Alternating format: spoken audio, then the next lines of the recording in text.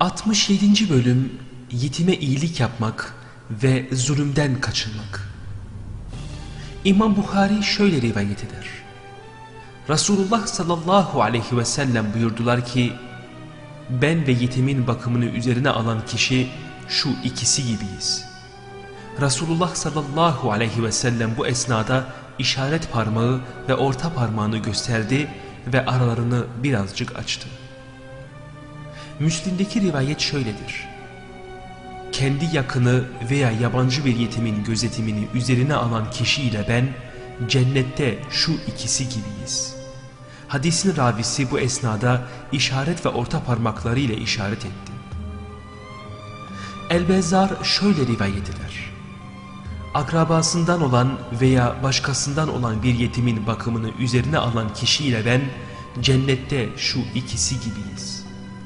Bu esnada parmaklarını birleştirdi.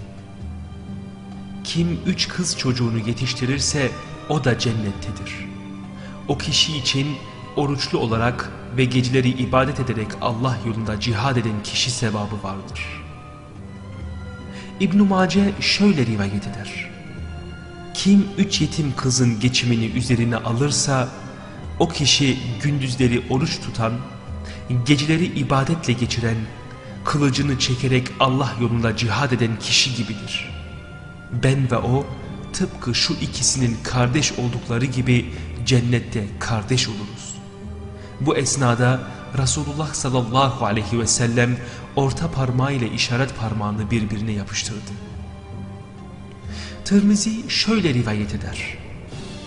Kim Müslümanlar arasında bir yetim alır, onu yiyecek ve içeceğine ortak ederse, affedilmez bir günah yani şirk işlememişse, Allah onu mutlaka cennete koyar. Diğer bir rivayet şöyledir.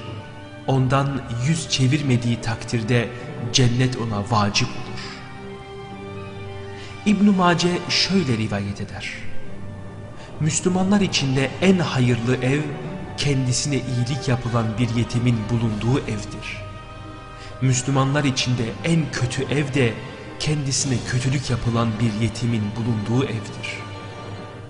Ebu Ya'la şöyle rivayet eder. Cennetin kapısını ilk olarak açacak olan benim.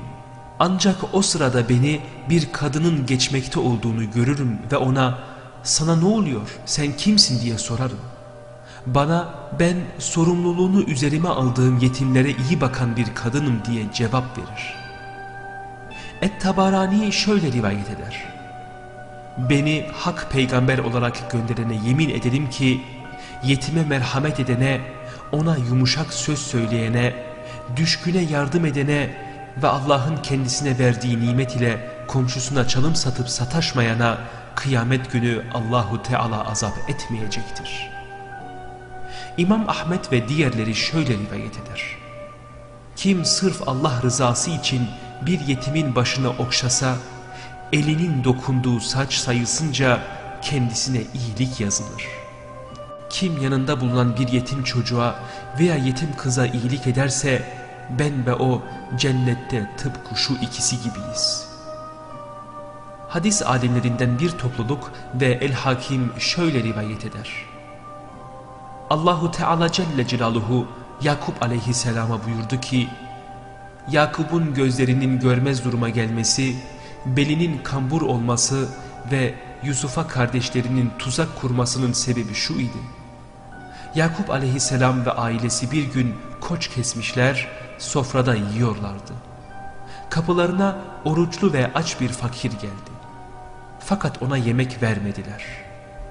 Sonra Allahu Teala Celle Celaluhu Yakup aleyhisselama kulları arasında yetim ve fakirleri sevdiği kadar kimseyi sevmediğini bildirdi. Sonra yemek yapıp fakirleri davet etmesini ona emir buyurdu ve o da bunu yerine getirdi. Bukhari ve Müslim Ebu Hureyre radıyallahu anh'tan şöyle rivayet eder. Dul ve kimsesiz fakirler için çalışan, Allah yolunda cihad eden kimse gibidir. Veya şöyle dedi zannediyorum. Gündüzleri oruç tutup geceleri de ibadet eden kimse gibidir. Yukarıdaki hadis-i şerifi İbn-i Mace şöyle rivayet eder. Dul ve kimsesiz fakirler için çalışan kişi Allah yolunda cihad eden ve gündüzleri oruç tutup geceleri de ibadet eden kimse gibidir. Seleften biri şöyle der. Ben içkiye müptela, günahlara dalmış biriydim. Bir gün bir yetim gördüm. Ona tıpkı çocuğum gibi hatta daha fazla iyilik yaptım. Sonra uyudum. Gece rüyamda zebanileri gördüm. Beni sert bir biçimde yakalayıp cehenneme doğru sürüklüyorlardı. Tam o esnada karşımıza o yetim çıktı ve onlara onu bırakın, onun için Rabbime yalvaracağım dedi. Fakat zebaniler onu dinlemeyip devam etmek istediler. İşte bu esnada onu serbest bırakın, biz onu yetime yaptığı iyiliğe karşılık bağışladık diye hitap geldi. Bu hal üzere uyandım. O günden sonra yetimlere karşı fazlasıyla iyilik ve ikramda bulunmaya gayret gösterdim. Zengin Alevilerden biri vefat eder.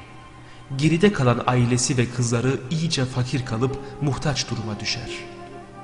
Çevredekilerin düşmanlık ve hakaretlerine maruz kalmamak için vatanlarını terk edip başka yere göçerler. Vardıkları şehirde terk edilmiş bir mescide yerleşirler. Anneleri kızlarını mescide bırakarak onlar için yiyecek aramaya çıkar. Şehrin ileri gelenlerinden bir Müslümanın kapısını çalar ve durumunu ona arz eder. Fakat o kişi doğru söylediğine inanmaz ve kendisinden söylediğini ispat edecek bir belge ister. Kadın şehre yeni gelmiş garip birisi olduğunu söylerse de adam kadını eli boş geri çevirir. Daha sonra kadın bir mecusinin yanına varır. Durumunu ona anlatır. Mecusi kadının anlattıklarına inanır. Hanımını gönderip kız çocuklarını evine aldırır ve onlara fazlasıyla ikramda bulunur. Gece yarısı olunca o Müslüman kişi rüyasında kıyametin koptuğunu görür. Resul-i Ekrem sallallahu aleyhi ve sellem livai hamd sancağını açmış altında oturmakta ve yanında ise muazzam bir saray durmaktadır.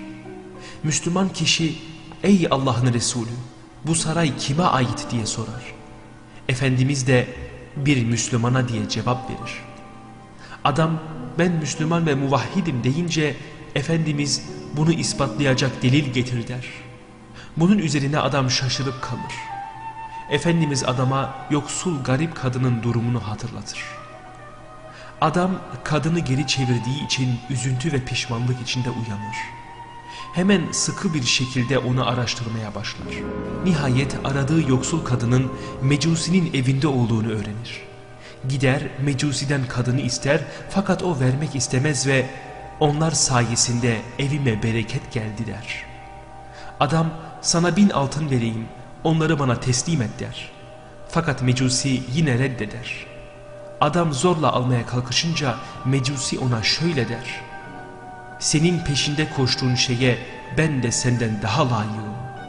Rüyanda gördüğün köşk benim için yaratılmıştır. Müslümanlığın ile bana karşı övünüyor musun? Allah'a yemin ederim ki ben ve evimde bulunan halkım bu kadın sayesinde Müslüman olduk ve öylece uyuduk. Senin rüyanda gördüğünü ben de gördüm. Resulullah sallallahu aleyhi ve sellem bana o fakir kadın ve kızları senin yanında mı diye sordu. Ben de evet ey Allah'ın Resulü dedim. Bunun üzerine Efendimiz köşk senin ve ev halkınındır buyurdular.'' Bu hal üzerine şehrin ileri gelen o Müslüman zat ancak Allah'ın bileceği bir üzüntü ve keder ile oradan ayrılıp gider.''